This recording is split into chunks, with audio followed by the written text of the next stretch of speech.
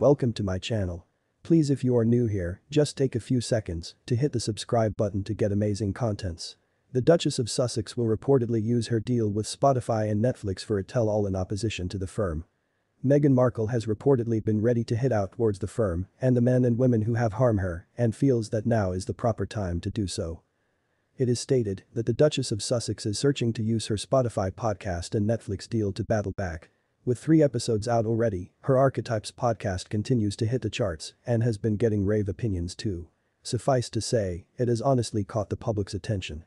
Now, a source informed Heatworld that the former Suits star is relishing this, she's been plotting her revenge for months. She and Harry have been biding their time and resisting the temptation to hit return to the lot of human beings who have brought on them anguish, however the gloves are off now. The insider stated it would be a selective mission for the reason that it would be not possible to get back at each and every single organization or person who's triggered them pain. The source delivered that the Duchess of Sussex is not going to again down or silence herself, she already has plenty greater matters ready to say that are going to increase eyebrows.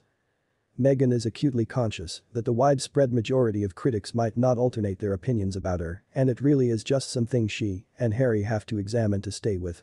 But she would not care, due to the fact she eventually has a platform with this podcast and TV show, the tipster defined adding, she and Harry can now manipulate their narrative and pick out off their enemies one by one, definitely on their personal phrases and without censorship. Anyone who stands in their way dangers their wrath, it is as easy as that. Meghan Markle made headlines last week with the launch of her cowl interview for The Cut magazine.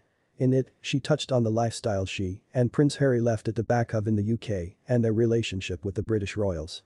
Then, she slammed royal protocols on her Archetypes podcast and admitted that she felt the poor connotation of the phrase ambition and felt how it is to be handled as a black girl after she agreed to become a member of the royal household.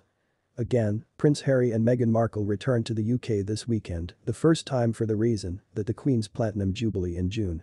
The Duke and Duchess of Sussex are reportedly staying at their former home, Frogmore Cottage, which is positioned on the Queen's Windsor property, simply a stone's throw away from Prince William and Kate Middleton's new residence, Adelaide Cottage.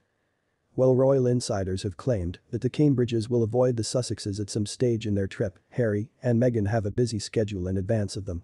The couple are already in Germany for the Invictus Games Dusseldorf 2023 one year to go event and they'll be heading straight to the Wellchild Awards on September 8 when they return to the UK.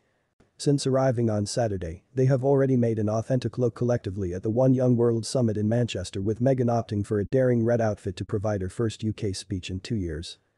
During her tackle to younger leaders, Meghan advised the attendees that it was once very best to be again in the UK and used a keynote speech to talk about her experience with the enterprise, which she has been concerned with on the grounds that 2014, as nicely as how her perspective on world troubles has changed in view, that turning into a spouse and mother she said, my worldview had improved exponentially seeing the international community through the eyes of my child, and I asked, what is this world he would come to adopt, and what can I do to make it better? Drop your thoughts in the comments section and please subscribe to my channel.